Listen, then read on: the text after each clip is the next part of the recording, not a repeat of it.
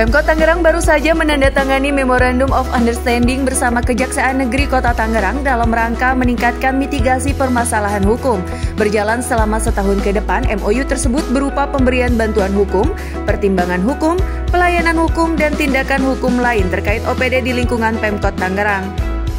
MOU-nya itu terkait dengan ruang lingkup perjanjiannya itu terkait dengan perjanjian terkait uh, bantuan hukum fungsi datun ya fungsi datun eh, dari kejaksaan negeri kota Tangerang itu bantuan hukum pertimbangan hukum tindakan hukum lain dan pelayanan hukum MOU ini dinilai sangat penting terutama untuk melindungi program, kebijakan, dan pembangunan di kota Tangerang berjalan sesuai dengan prosedur hukum yang berlaku, khususnya di bidang perdata dan tata usaha negara.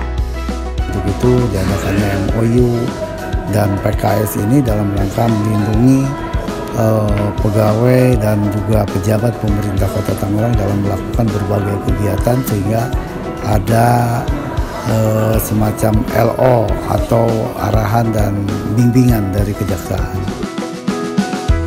Selain itu, MOU ini diharapkan mampu meningkatkan sinergitas bersama untuk mewujudkan pelayanan maksimal di Kota Tangerang.